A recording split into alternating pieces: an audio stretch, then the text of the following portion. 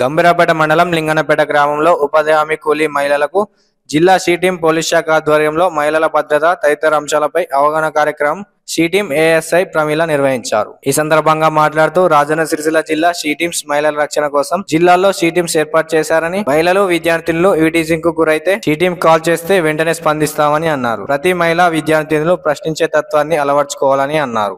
స్కూళ్ళల్లో కాలేజీలలో హాస్టల్స్ దగ్గర పబ్లిక్ ప్లేస్లో బస్ స్టాండ్లలో పార్కులలో ఇవి అన్నిట్లలో అవేర్నెస్ ప్రోగ్రామ్ కండక్ట్ చేస్తాం.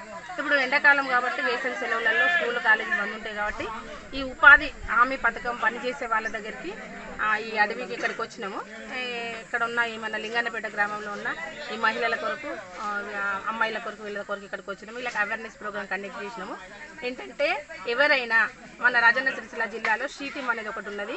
దానికి ఒక నెంబర్ ఉంటుంది. Eight seven one two six five six four two five అనేది మన షీటీమ్ రాజన్న సిరిసిల్ల మొత్తానికి ఇది ఒకటే నెంబర్ ఉంటుంది. ఈ నెంబర్కి ఎవరైనా అమ్మాయిలను అంటే ఫిజికల్గా వెంటబడి వేధిస్తున్నాను వంట ఇష్టం నేను నేను ప్రేమిస్తున్నాను చెప్తే చాలు.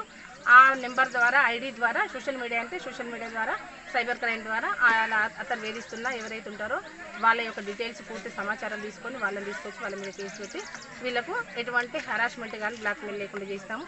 ఇంకా ఊర్లో తెలిసిన వాళ్ళు వాళ్ళు ఉంటే వాళ్ళని కూడా తీసుకెళ్తాం. ఫస్ట్ కౌన్సిలింగ్ ఇస్తాం. లేకపోతే వాళ్ళ మీద మేమే కేసు రిజిస్టర్ చేస్తాం. దీనిలో ఏంటంటే మహిళలు కానీ అమ్మాయిలు కానీ ఎవరు కానీ పోలీస్ స్టేషన్కి వెళ్ళాల్సిన అవసరం లేదు. మా షీటీఎంకు రావాల్సిన అవసరం లేదు. ఇలాంటి హరాస్మెంట్ ఏమైనా గురైతే ఖాళీ ఫోన్ చేయడం ఫోన్ చేసి మా నెంబర్ చెప్తే చాలు. ఈ ఫోన్ నా దగ్గరే ఉంటుంది ఈ నెంబర్ నా దగ్గర ఉంటుంది కాబట్టి ట్వంటీ ఫోర్ బై సెవెన్ ఎప్పుడైనా ఈ ఫోన్ ఆన్లో ఉంటుంది. ఎవరైనా ఎప్పుడైనా మహిళలు కానీ ఎవరైనా ఫోన్ చేసి చెప్పొచ్చు. ఏ కేసు అయినా సరే మా షీటింగ్కి వర్తిస్తుంది. మన జిల్లాలోని ఏ మహిళ అయినా అమ్మాయి అయినా ఈ నెంబర్ కాల్ చేసి చెప్తే వాళ్ళ పూర్తి సమాచారం గోప్యంగా ఉంచుతాం అన్నట్టు. ఎవరికి తెలియకుండా సీక్రెట్గా ఉంచుతాము. వాళ్ళ పేరు కానీ పూర్తి వివరాలు ఏవి కూడా బయటకు రాకుండా చూసుకొని వాళ్ళ ఇంట్లో వాళ్ళకు కూడా ఈవెన్ తెలియకుండానే వాళ్ళ ప్రాబ్లమ్స్